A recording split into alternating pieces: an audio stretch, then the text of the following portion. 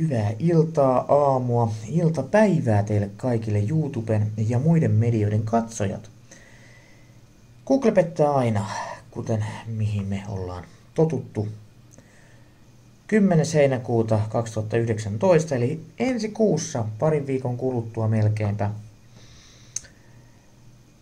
Google tekee sellaisen muutoksen Google Photosin, eli Google Kuviin, että se ei enää siirrä sieltä palvelusta Google Drivein puolelle niitä kuvia ollenkaan.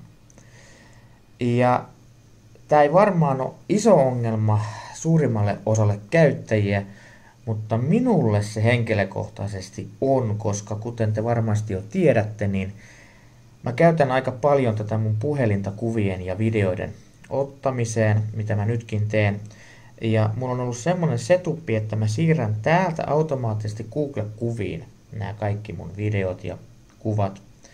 Ja tota, se, kun se synkronoi ne tonne mun Google Driveen, niin tota, sit mä saan ne tonne mun kotipalvelimelle, tiedostopalvelimelle, sieltä sitten insynkillä, ja voin käsitellä niitä kuvia au, tota noin, niin, ta- tavallaan paikallisesti, avata niitä kimppeihin ja muihin kuvankäsittelyohjelmiin.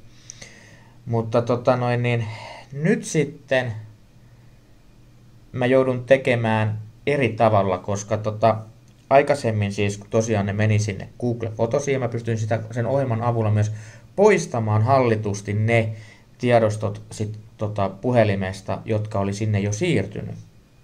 No, okei, okay, tämä ei ole sinänsä maailmanloppu, mutta se vaatii mulle nyt henkilökohtaisesti muutoksia tähän mun järjestelyyn. Eli tota, mä joudun käyttää Google Drive Uploaderia, mikä on kolmannen osapuolen sovellus. Se on maksullinen, no okei, okay, mulla oli sen sitten nämä kaikki hoidettu sinne.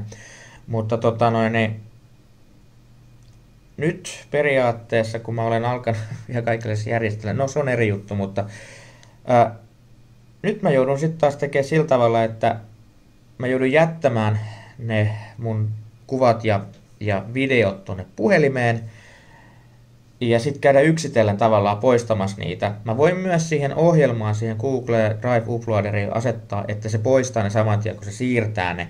Mutta mä en välttämättä halua niin tehdä, vaan mä haluan pitää niitä hetken aikaa siellä. Mutta nyt mä pystyn vaan silleen mennä myöhemmin ja ottaa, että poista kaikki paikalliset tiedostot, niin kuin mä pystyin Google Fotosissa eli Google Kuvissa tekemään siinä sovelluksessa. Ja tämä aiheuttaa mulle oikeasti niin kuin todella päävaivaa. Mulla on isoja tiedostoja, ne on aina suunnilleen se joku 7-8 gigasia videotiedostoja. Ja sitten on ravikuvat. Niin tota, tämä ei ole millään tavalla optimaalinen. Ja myöskin se, myöskin se, että tota noin, niin mulla on voinut olla kuvat ja videot eri kansioissa tai hakemistoissa tässä puhelimessa. Mutta nyt kun mä otan sen Google Uploaderin käyttöön, niin se ei ole lähes, siis Google Drive Uploaderin, niin se ei ole läheskään niin, kuin niin yksinkertaista. Mun pitää jokaiselle näistä kansioista tai hakemistoista niin luoda tavallaan semmoinen niin Uploader-profiili. Ja se on jo yksistään ongelma, koska jos mä otan vaikka jonkun uuden videokamerasovelluksen tai, tai tota, kuvasovelluksen, niin ne yleensä haluaa tehdä omat hakemistot niille kaikille. Niin nyt mun täytyy sitten niinku niitä kaikkia seurata, että ne varmasti uploaduu, menee sitten sinne tota driveen.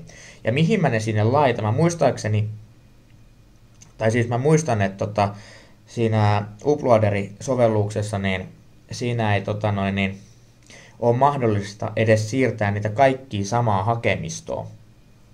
Tarkoittaa siis sitä, että jos mulla on kaksi eri hakemistoa täällä, täällä tota, puhelimessa, niin sitten täytyy olla myös Driveissa.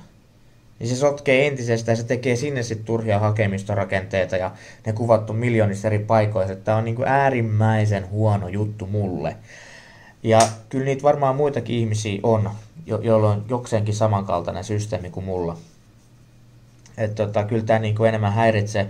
Mutta tämä on taas helvetin hyvä esimerkki siitä, että tota, Google pettää aina käyttäjänsä. Että tota, tämä on outoa sinänsä, että tämä tulee mukamas myös meille maksaville tota noin, niin, käyttäjille. Et, et, tota, ehkä mä ymmärrän sen jollakin tavalla, että ilmaiskäyttäjille, koska tota noin, niin, tallennustila Googlella menee siinä, että se tallentaa ne kahteen paikkaan. Mutta tota noin, niin me maksetaan siitä. Meillä on rajaton levytila. Niin tota, kyllä mä oon sitä mieltä, että G Suite-käyttäjät olisi pitänyt jättää ehdottomasti tämän muutoksen ulkopuolella, mutta Googlella ei oikein haluta sille yksityiskohtaisesti ajatella näitä asioita, niin kuin on huomattu nyt menneiden vuosien aikana. Et tota, ongelmia tulee ja tota, no, onhan meillä vielä se rajaton tila, että nyt mun pitää ehkä muuttaa tämä mun pitää ehkä joku Nextcloud-systeemi laittaa, koska siinä sitten se upload-systeemi on vähän, vähän sinänsä helpompi. Että sitten vaan Driveista tulee oikeasti se varmuuskopio, ja ennen se oli toisinpäin, että tota, mulla on tavallaan toi kotipalvelin tuolla hattuhyllyllä, niin se varmuuskopio, tavallaan se, se välimuisti, mutta tota, tämmöiset pienet muutokset, ne voi olla pieniä muutoksia, kuulostaa pieneltä muutoksilta, mutta silloin on oikeasti ihan niin kuin tosi iso, iso tota noin, niin, vaikutus nyt sitten, varsinkin mun henkilökohtaiseen käyttöön. Että, tota, niin. No siis periaatteessa fotosia mä en ole käyttänyt siihen tarkoitukseen, mihin se vähän niin kuin on, että siinä ylläpidetään mukaan jollakin tavalla sitä, niitä kuvia. Mun mielestä niitä ylläpitotoiminnot on koko ajan, niitäkin on poistettu sieltä jatkuvasti, editointitoimintoja on poistettu ja kaikki, että se on niin kuin tosi basic nykyään. Niin, niin tota, en mä tiedä, siis pitäisikö tässä nyt Google mä en pysty dissaamaan, koska se rajaton levytila on rajaton, niin mä en, se on kuitenkin niin edullinen ajatellen sitä, että mulla olisi tuolla omat levyt tota noin, niin, pyörimässä koko ajan, niin, niin, niin tota, tai onhan ne nytkin, mutta jos olisi siinä määrissä, mitä mä haluan, niin, niin tota, jos on rajaton levytila tai puhutaan sitten jostain kymmenestä teratavusta, niin kyllä mä mielellään otan sen rajattoman ja maksan siitä sitten, mitä mä maksan, 30 jotain euroa. Et niinku, en tiedä, minkälaisia muutoksia tämä aiheuttaa teille.